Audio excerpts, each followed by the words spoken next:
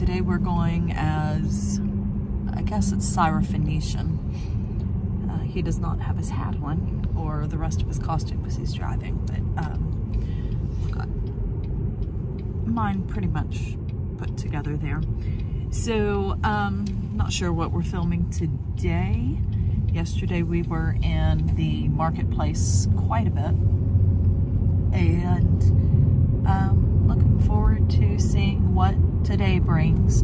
There is rain in the forecast at around 5 p.m., uh, a chance of a thunder shower, so I'm hoping that that doesn't happen. My costume's quite heavy, and I can't even imagine how heavy it will be if it's wet. Tomorrow, it's also supposed to be very cold uh, and rain, perhaps. So, uh, we'll see. We'll see what that 20. And is our call time 6.15? Yeah, So we're about five minutes after, but again, they have chastised us not to be early, so we're desperately trying not to be early. So you show up at your call time or just afterwards. I can see the line that is formed all the way down the dirt road and um, moving slowly, but people are making their way in. All right, we'll see what happens today. I need to kind of bring you into the headspace of we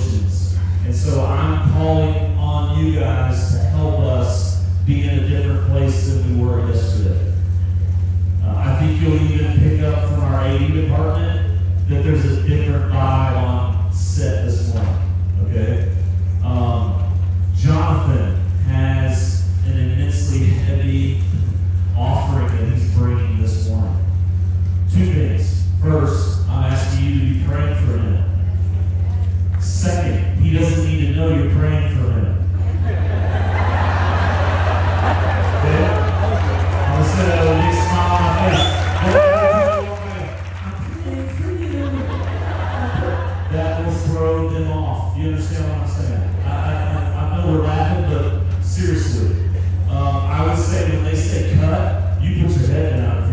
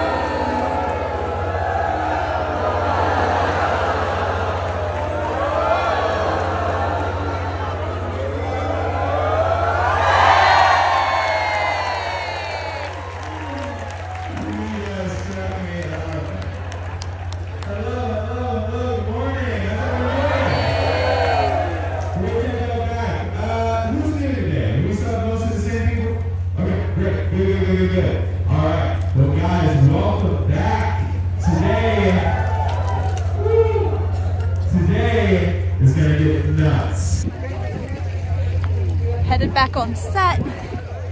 It's Thursday, very busy day filming.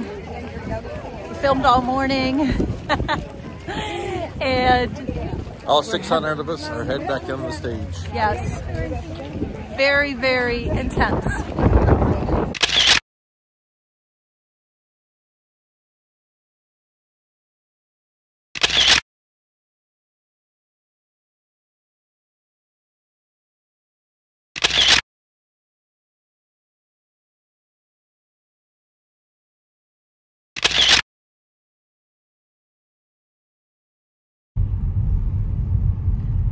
We are leaving filming after day four. It is 7.23 p.m. We've been here since 6.15 a.m., so another 13 hour day today. It was really an exciting day for filming. I can't give any spoilers, but we did get to see Jesus pretty much all day. And um, it was really, really exciting. I cannot wait to see this episode. I believe they said it was season five, episode two. And uh, we filmed the same scene all day long from different angles. We started filming at the middle of the scene, and then we went to the very end of the scene, and then we started going backwards in reverse order, and then all back and forth. So none of it was filmed chronological, so that was really interesting to see. Uh, we did a lot of standing, did a lot of walking. Very short lunch period today. In fact, we were not in the tent for very long at all. We were in the tent just for breakfast. We dismissed rather early. Everybody went down, all three groups. So it was the red, the green, and the blue. We're blue now. And all three groups were down there for the entirety of the day except for lunch and I want to say our lunch period was maybe 30 minutes and that includes getting 600 plus people through the lines. Of course the lines are all boxed lunches and then if you have dietary restrictions there's a separate station for you to go. Uh, they do have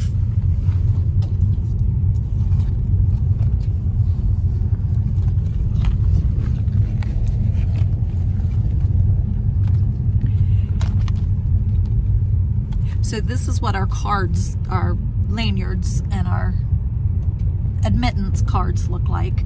And if you have dietary restrictions, you get a sticker. And it depends on what your dietary restrictions are. So they offered gluten-free, they offered vegan, and then they offered gluten-free and vegan.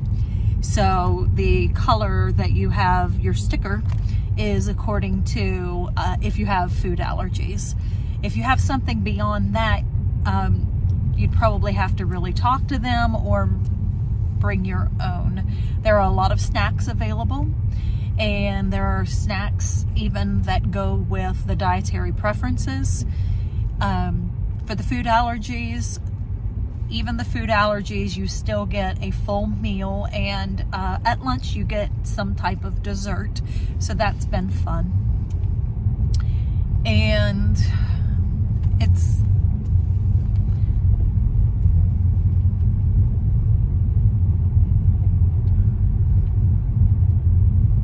we're really tired and both of us are ready to get back to the hotel, get a eat, get a shower, and go to bed. My feet are hurting today. I had brand new shoes that I didn't get a chance to break in. As I had ordered, when we first signed up, I had ordered a pair of shoes that were Clark's brand, reputable brand, got them in, they hurt my feet, they were horrible, sent those back, ordered a second pair, and they were the Born brand, also a brand I'm familiar with, and I've worn before. I had been breaking those in for the last, I want to say, I had been breaking those in for the last, I want to say two months, which is about the lead time that we had, I think. I could be wrong on that. And clear up until the week before we left, I realized they were still rubbing blisters on my feet. There wasn't anything that I could do. I ordered two pair of Skechers sandals literally right before we left. They arrived the day before we flew out. And uh, the one pair, I actually wore them to work one day and that was it, forgetting to break them in. And that's the ones that I've been wearing and they've been fine. My feet are sore today just because of all the standing on concrete and all of that, but um, it's not a problem with the shoes, whereas the other two pair of shoes that I had gone through, the first pair just weren't comfortable at all. The second pair were fairly comfortable, but they just really rubbed blisters on my feet and there was just no getting around that. Even moleskin wouldn't have helped just the way that they fit. So, comfortable shoes, absolute must. Break them in, do all of that ahead of time, and you should be fine. Again, there are a lot of older people here a lot of retirees. I've met several people who are far in their 70s, perhaps later. I'm absolutely amazed by all of the costumes and all of the creativity that a lot of the people that have done with their outfits and styling. Uh, we made our costumes. We each made five.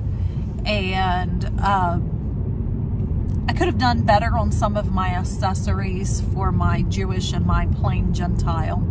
Well, even my Syrophoenician, which is what I'm wearing now. I could have done better on that, but I really didn't know what I was doing, so I would know better the next time. But I'm really, really amazed with the creativity of everybody. There are some of the most beautiful people that you've ever seen. I mean, people of all colors, all races, all skin types, just absolutely stunning people. There was a woman I spoke to yesterday and uh, she's so pretty. And I said, ma'am, you are just beautiful. And she was kind of taken aback. She's said, oh, why? I don't get that very often. I'm 72 years old. And I was like, well, you should get that because she was absolutely stunning. She actually looked a lot like Nicodemus's wife, if you watch the series. Uh, and I told her that. I said, you look a lot like Nicodemus's wife. And she's like, oh, oh, goodness, goodness. But stunningly beautiful people. And um, a lot of really unique uh, ethnic groups that are represented here. A lot of countries that are represented here. And it's really, really neat to get to see that.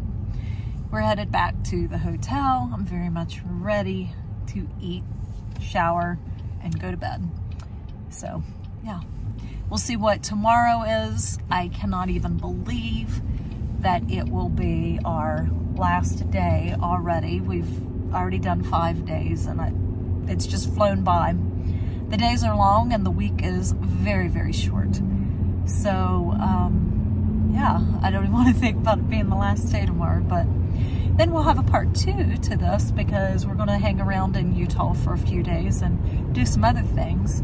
So um, our chosen experience will be up tomorrow, which is Friday.